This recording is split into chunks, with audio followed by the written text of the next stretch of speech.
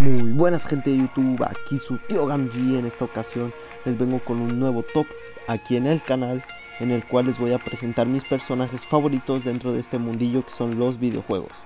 Este ranking estará conformado por 8 puestos, los cuales, aclaro desde un inicio, se tratan de los mejores personajes de videojuegos en mi opinión. Y si tú deseas dejar tu propio top de personajes favoritos, eres más que libre de hacerlo en los comentarios y yo los leeré encantado. También antes de comenzar debo decir que hay juegos o sagas donde hay muchos personajes muy buenos que podrían estar en el top, pero para dejar variedad me veré obligado a escoger solo uno por juego o por franquicia. Ahora sí, sin nada más que añadir, comencemos.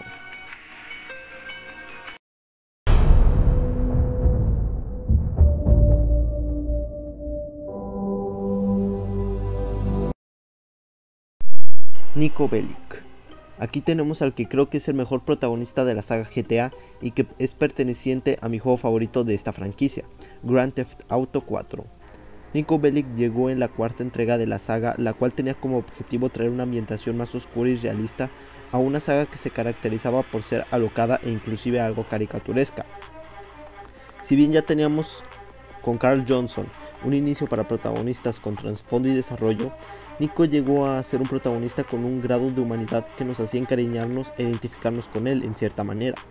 A pesar de todos los actos delictivos que comete, él se esfuerza por demostrarnos que no lo hace por placer, y se muestra durante todo el juego como alguien noble, el cual era amigable, respetuoso, caballeroso con las damas, y acompañaba su personalidad con un pasado traumático el cual lo atormenta durante gran parte de la historia, teniendo como principal motor la venganza la cual al final consigue, pero sin tener consigo una satisfacción, lo que hace que el personaje tenga un aprendizaje y desarrollo, los cuales lo posicionan en este top.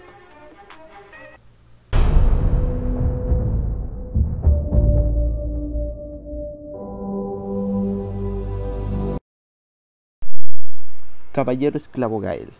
En este puesto tenemos a mi personaje favorito de todos los juegos de From Software, un NPC y jefe con una historia, diseño y personalidad que me encantan. Gael es un personaje que a primera instancia es muy misterioso, no sabemos nada de él y lo ayudamos por el simple hecho de jugar más. Más tarde nos lo encontramos como jefe y resulta en una de las mejores peleas del juego. Pero una vez que te inmiscuyes en su historia, atas los cabos, analizas sus apariciones como señales y lo relacionas con la pequeña pintora, te impresionas a tal grado que su pelea resulta mucho más intensa y a la vez deprimente, dando un cierre perfecto como último jefe de la trilogía Dark Souls.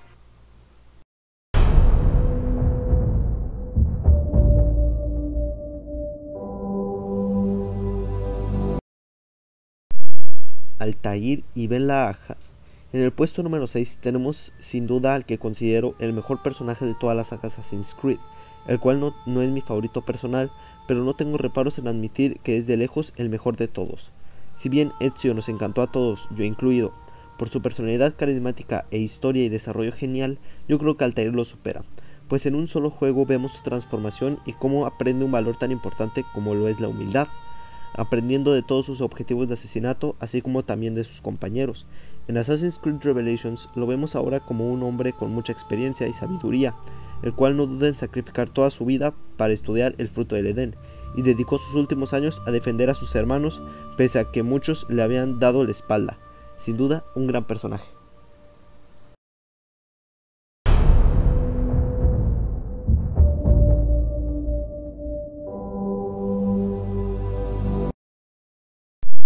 Wander. Ok, aquí está uno de los protagonistas de uno de mis tres videojuegos favoritos, y es que deben saber que siento especial aprecio por las obras de Fumito Ueda, Wander es el protagonista de Shadow of the Colossus, y su objetivo es acabar con la vida de 16 colosos, para así poder resucitar a su amada, la cual ha sido víctima de un sacrificio. Coloca a Wander en este top porque es representado como un héroe que lucha por un objetivo noble, cuando en realidad es todo lo contrario, tratándose de un ladrón que asesina a criaturas pacíficas para poder conseguir un fin egoísta. Pero lo maravilloso es que el juego está presentado de tal forma que tú apoyes y estés de parte de Wander, empatizando con él y lamentando sus tragedias, mostrando momentos realmente emotivos que se graban en tu memoria. Sin duda, uno de los mejores juegos que existen en mi humilde opinión.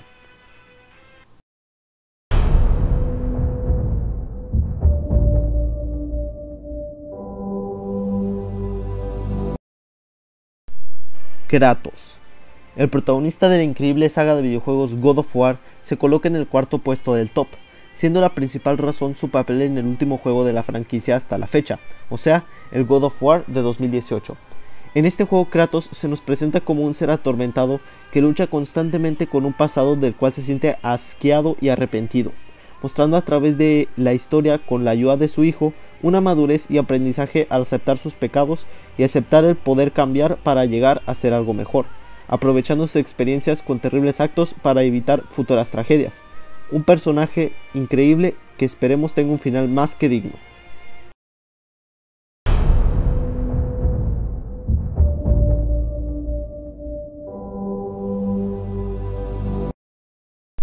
Big Boss y Solid Snake.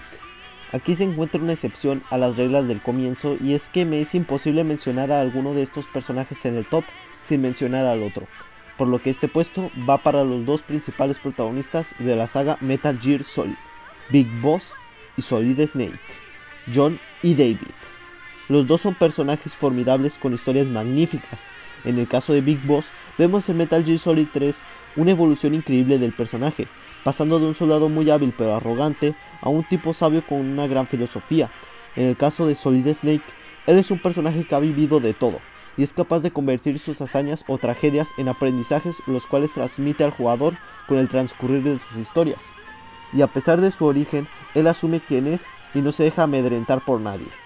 En lo personal, yo prefiero un poco más a Solid Snake, y es que su personalidad y su participación en toda la saga, pero sobre todo en Metal Gear Solid 4 como Old Snake, me parece sublime. Aún así, los dos son personajes increíbles que se quedarán en la memoria de cualquiera que disfrute las obras donde aparecen.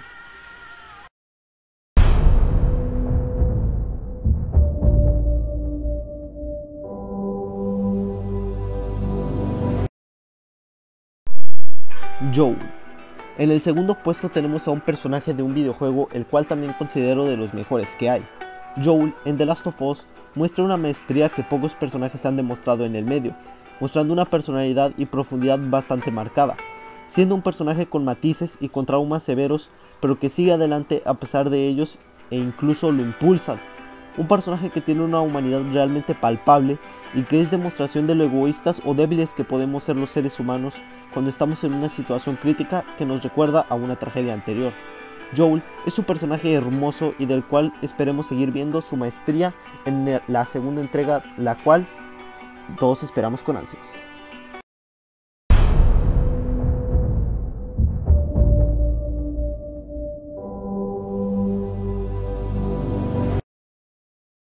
En este puesto tenemos otro personaje creado por Rockstar Games, pero perteneciente a otra de sus sagas con mayor éxito, Red Dead Redemption. En este caso particular hablamos del protagonista de su segunda entrega. Señoras y señores, el primer puesto del top se lo lleva el gran Arthur Morgan.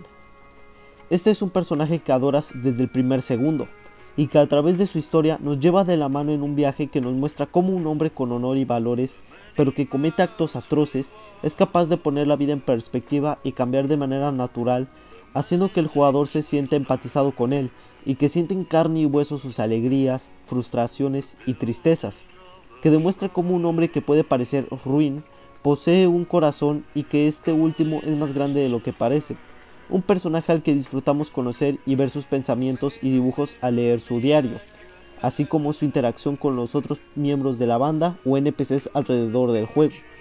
Un personaje que aprende mucho y está desesperado por comunicarle sus enseñanzas a John Marston para evitar que éste cometa los mismos errores. Arthur Morgan es de los pocos, si no es que el único personaje de los videojuegos que puede rivalizar fácilmente con los de una novela, y que te llena de alegría cada vez que pones el disco del juego en la consola y lo ves siendo él. Gracias Arthur.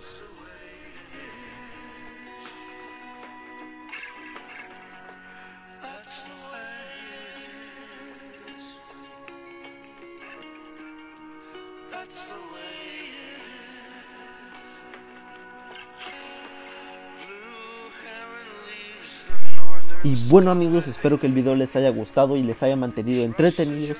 Recuerden que si les gusta el contenido pueden suscribirse, dar like y compartir el video con sus amigos. Así como también dejar sus opiniones en los comentarios. sin nada más que añadir, este ha sido su tío Gamji y nos vemos hasta la próxima. Chao.